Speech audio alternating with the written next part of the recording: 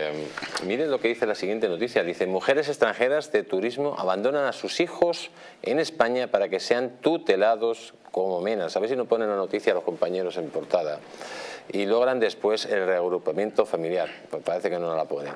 Eh, ¿Qué opinan ustedes de esto? De que mujeres extranjeras llegan aquí de turismo, abandonan a sus hijos para que todos los españoles tengan que cuidarlo. Pues yo creo que, el tema del regrupamiento familiar eh, hay que poner la pica en Flandes, ¿no? porque eso sí que está muy bien para, para cuando se va el padre o se va la madre y se viene el, otro cónyuge y los hijos, pero no cuando se dice que viene mi primo, mi abuelo y el de más allá. ¿no? Yo creo que eso debemos darle las gracias a José María Aznar, que en el año 98 pues, se le ocurrió esa, esa brillante idea. ¿no?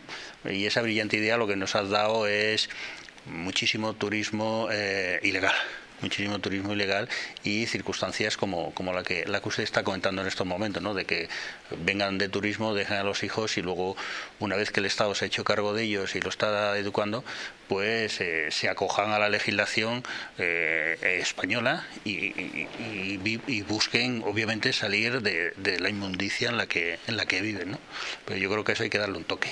Sí, eso es un tema muy complicado. Cuando metes niños o metes menores de edad, el Estado no puede hacer nada más que cuidar de ellos, no puede hacer nada más. Otra cosa es que la familia se aproveche o no se aproveche.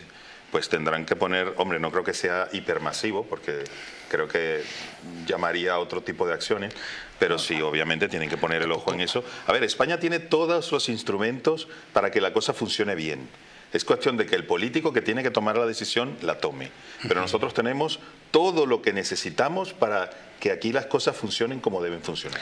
Lo que pasa es que tenemos una clase política que o no sabe, o no está preparada, o no quiere por intereses. Eso es lamentable y lo que tenemos que hacer los españoles es, la próxima vez que vayamos a votar, pensemos bien en qué vamos a votar y en quién vamos a votar. Dime, dime, dime. No, le recuerdo, por ejemplo, cuando éramos los mayores receptores de turismo sanitario de Centro Europa, por ejemplo, y nuestro sistema de salud engastaba los cuartos en poner prótesis a los jubilados alemanes, por ejemplo. ¿Mm? Mientras nosotros de Alemania lo único que hemos sacado han sido los dolores de hueso, o sea que, que es algo que nos viene sucediendo a en España y como tú, como tú muy bien dices, tenemos los resortes como para que no, que no surjan, ¿no? Pues lo que te digo, eso son decisiones políticas.